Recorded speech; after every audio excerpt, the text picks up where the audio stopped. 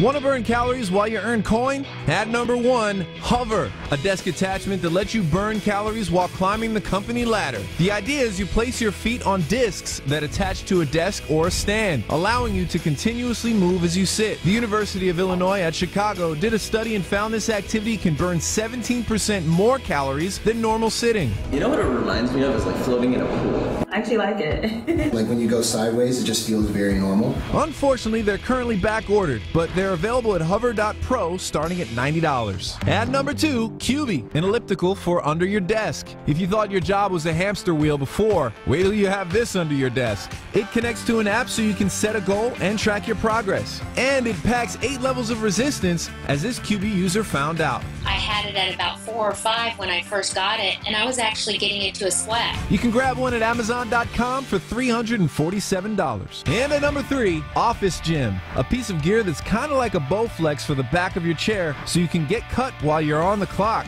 You just strap it on your chair and get going, giving you a resistance workout. Exhale one and bend. Exhale two and bend. And it's versatile. Different configurations allow you to work out various muscle groups.